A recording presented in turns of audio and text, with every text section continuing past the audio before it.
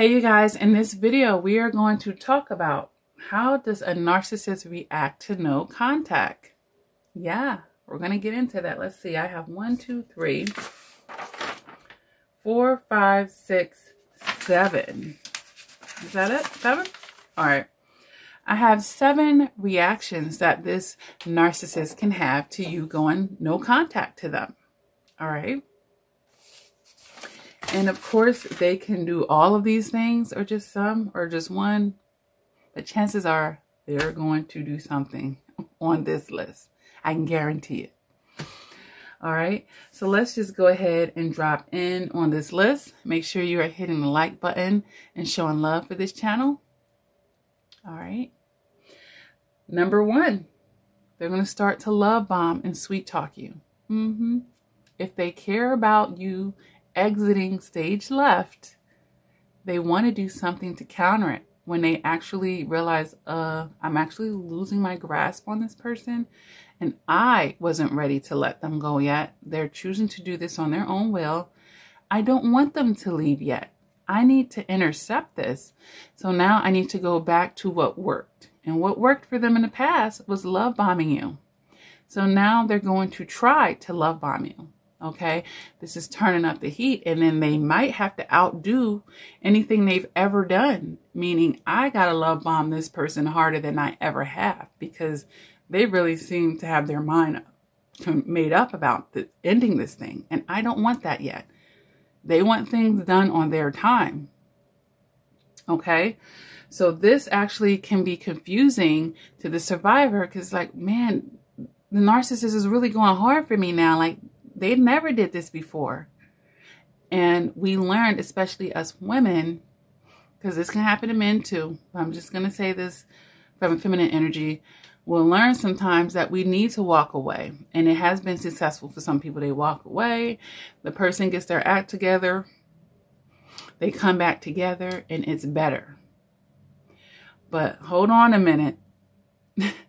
I said the person gets their act together not pretend like they got their act together, not one hour later. you know what I mean? Like, it usually doesn't work like that. It usually doesn't work like that 99.9% of the time. Okay? Usually doesn't work like that. Well, Coach the Kid, it is that 0.01 chance. and that's the person that wants to be holding on to hope to begin with. Okay?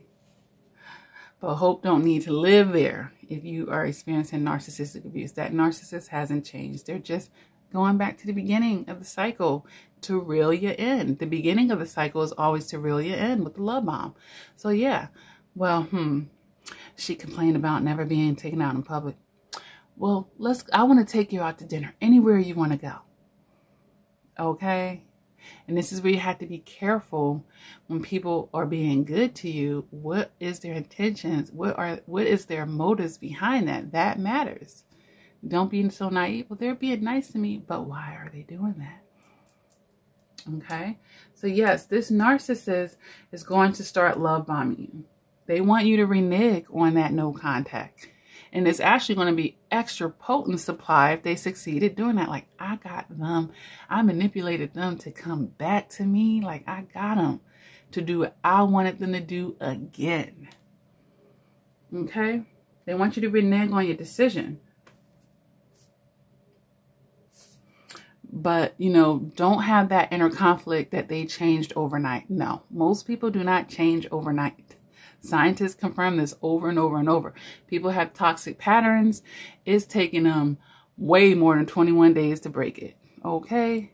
And this narcissist is calling you a few days later, a week later, even two weeks later, a few hours later. they haven't changed. They haven't changed. They're just trying to get give you good behavior for a brief window. Put the mask back on to get you back in. And then it's back to to business, back to normal. Okay. So yes, number one, they're going to try to love bomb you to regain control, to keep you in rotation, keep you in the picture. Number two, they're going to act on phase. Mm-hmm. They're going to give you the silent treatment back. You know, narcissists can be very prideful and arrogant in a negative sense. You know, they're not swallowing their pride. They're not swallowing their pride.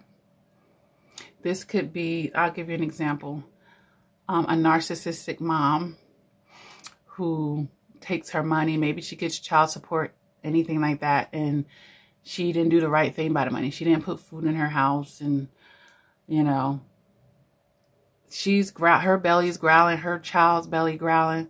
Maybe her sister, family, even her the person she was with noticed, you know, hey, um, they come over, they barely see any food or something. They're like, you know what? Um, want me give you a few money for some groceries, or I could take you grocery shopping, or let me let me put some groceries in the house this week. You know, oh, I don't need your food. We got plenty to eat. You know, sometimes you need to swallow your pride. Okay, everybody needs a helping hand sometimes. Okay, it reminds me of that Tyler Perry movie I was watching, and I'm not saying that the chick was a narc, but he was like this business guy, and she was cleaning his offices. I don't even know what it's called. If somebody knows, you could drop it down there. And he took her and the son out to eat. And forgive me if I don't remember every detail because I just remember certain sections. And she was actually a homeless woman living in her minivan, I believe, at the time. And when he turned his face, she was eating her food real fast. So she didn't want him to see how hungry she was. Very prideful. Okay.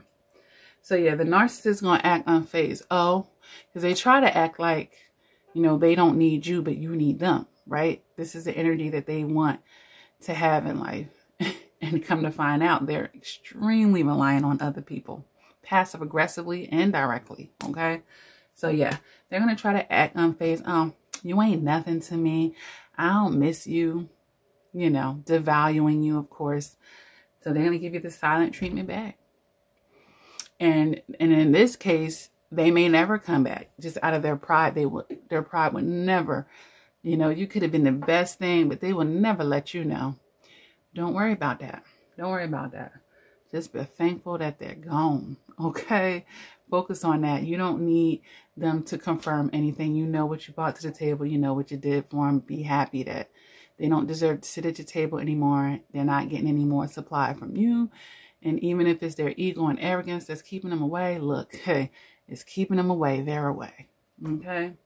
So yeah, they number two, act unfazed, unbothered, like, huh, you was nothing. You were a non-factor. I didn't really care about anything you was doing for me. Because they didn't really love you, of course not. But it doesn't mean that they're not affected by whatever you were offering for them. Hmm, okay. Because some narcissists have ended up in some really particular situations by biting the hands that fed them. Okay. Okay. So yes, they're going to act unfazed and unbothered. Number three, they're going to throw another supply in your face. All right. And this is the part that seems to always get to the survivor. And I wish that it didn't. I wish that it didn't. I've made so many videos on this. You got to go listen to those videos to get that reinforcement so that it can stop doing that for you. Okay. If anything, I would be offended. Oh, we just broke up and you already throwing somebody else in my face. That lets you know a few things. They were already dealing with that person, so they were cheating on you. Should all that should validate, further validate why you don't need to be bothered. But yet and still, because chances are you're in your emotions. And this is why you're not in your logic. Logic says what I just said. Emotion says, it hurts my feelings. They're loving someone else. They're with someone else. They're, oh, they're love bombing them. That's what logic says. But to you, it's like, oh, they're treating them good. No, they're love bombing them. They're love bombing them just like they did you to reel them in. And now they're putting extra sauce on it because they know you're probably looking you got to think about manipulative people and how they move, you guys. This is seeing the angles. All right, so yes, they're going to throw another supply in your face. And they're hoping that that will do the work for, you for them, passive aggressively. They're triangulate you back in. You're going to get jealous. You're going to feel like you lost something good. Well, maybe, well, if they want them, they must not be all bad because somebody else want them. Everybody is not walking in the light. Somebody else could be in dark energy and their shadow energy, low vibrational as well. they're going to attract each other. And you taking your lessons, now she got to take her lessons or he got to take his lessons. It's time for him to learn some things and get an opportunity to evolve too. Just because somebody else wants them that don't even know them yet is they're wearing a mask. And even if they do know the narcissist, they're willing to stunt themselves. They're willing to stay in a low energy. That's their decision. You're making greater decisions because you want more for your life. Stop getting hung up just because they got somebody else that don't know any better, that's still walking in their emotional immaturity. Stop getting stuck by that. It is like one of the biggest hurdles, and I've talked to many survivors that you guys really get stuck on that aspect. All right. But yes, they're getting two birds with one stone. They want you to have doubts and insecurities about leaving them. That's why they're doing that. Well, it's not you. I can have a healthy relationship with them. I'm making them happy. So it must have been something wrong with you that I couldn't make you happy. Come on, you guys. Don't fall for that remedial crap. Okay, we got to stop falling for that remedial crap. And then, you know, I'm going to just say this because you're so shattered a lot of times at the end and your confidence been beaten down. It makes you more susceptible to fall for these games, okay? But we got to get in our logic. And if you're watching a video like this, you're learning the game. You just got to accept it because there's a difference between knowing and accepting. And somebody said this in their, I sent them a summary for their coaching session. They're like, yeah, I re- I know most of this stuff, but you haven't accepted it. That's the problem. Knowing and accepting are two different things. I know you can know you should be going to the gym. You ain't doing it. You ain't accept. You ain't accept doing it. you didn't accept doing it. All right. So knowing and accepting are two different things. All right, let's go to number four. Number four on the list, you guys.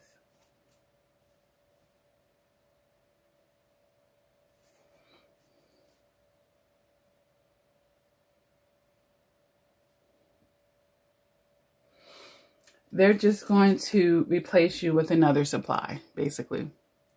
So they're going to be unfazed for real. So in number three, no, number two, they're going to act unfazed. But in number four, they really are unfazed because they feel like they've gotten someone that's equal or better as far as what they can get from that person. Okay. So if they feel like they got someone that's on your level or more, that they're getting at least or more, then they really, chances are they really are unfazed by it. And that might be a strike to your ego, but it's real talk. Okay. If they feel like mm, I ain't really missing a beat Susie over here or Sam over here giving me what what they was giving me or more. So I'm cool. I'm satisfied. So they really will be unfazed at that at that point for real because they found adequate replacement supply. Okay? So it's all good in the neighborhood for them. okay? So number five, the fifth thing that they do are reaction to your no contact damage control. Okay. We know they're so image focused, you guys. So they want to protect their image. They don't want to be the bad guy in the public's eyes. So here comes the smear campaigns. Here comes the lies. Here comes, you know, that sort of thing. All right. So they're going to do some type of damage control so that it's poor them. Oh, I'm so happy that you found love again. You deserve to have love after everything they did to you. Like, you know, they're really going to go for that sympathy and they want people to perceive that you were the problem, okay, indefinitely and a 100%, which should be a red flag to anyone with emotional maturity because nobody's perfect. All right. So, number six, this is very serious, you guys. All right and how a narcissist can react to your no contact. They can actually do this with violence, anger, aggression, more abuse. Okay. And then, you know, when this is happening, people go out and they get security systems for their home. I recommend that. They'll go get a protection order. Okay and just being mindful if if that person knows where you live and stuff sometimes they'll move and of course they're not sharing that address with anyone that they wouldn't want to tell this person and definitely not with the person. You know, they're changing their phone numbers a lot of times. You know, they're doing what they have to do to protect themselves. Some people have moved states away, moved to other countries. what? To get away from that energy in that person that is sent on assignment to destroy them. Okay? So this is very serious, you guys. Yeah, one of the ways that they can react is through violence, anger, aggression. All right, they're they're trying to be forceful like how dare you leave? You know, they didn't get their way and emotional immaturity is going to have them work from that energy. All right, and then this is domestic violence, of course. And then, of course, it could be between family members. So please, you know, use your discernment, use your logical thinking, critical thinking, never stay silent, document everything. Okay? Stay prayerful for sure. All right. So number seven, you guys, that I have on this list on what a narcissist can do to react is use flying monkeys to get to you and pass messages. You know, this plays out a lot in family dynamics when you're trying to distance yourself from a family member that's a narcissist to other family. Blood is thicker than water. You know, you guys need to figure this out. You know, other people are working to try to get you guys together past messages. All right. So yeah, they're going to use flying monkeys to still try to communicate with you, still try to bring their energy around into your life. All right. But I want to go back to the violent thing by adding stalking in there as well. Because I didn't say the word stalking, but of course, it's all under that umbrella. I wanted to say that. All right, you guys. So that's seven ways that a narcissist can react to your no contact. All right, let me know down in the description if you can think of some other ones. Of course, there's others, right? Go ahead and let other people know down there. And if this video has resonated with you, go ahead and hit that like button. Feel free to subscribe to my channel. Hit the bell, you guys, so that you're informed when I upload videos, which is quite frequently a lot of videos. All right, you guys. At the end of the day, I'm just going to say this.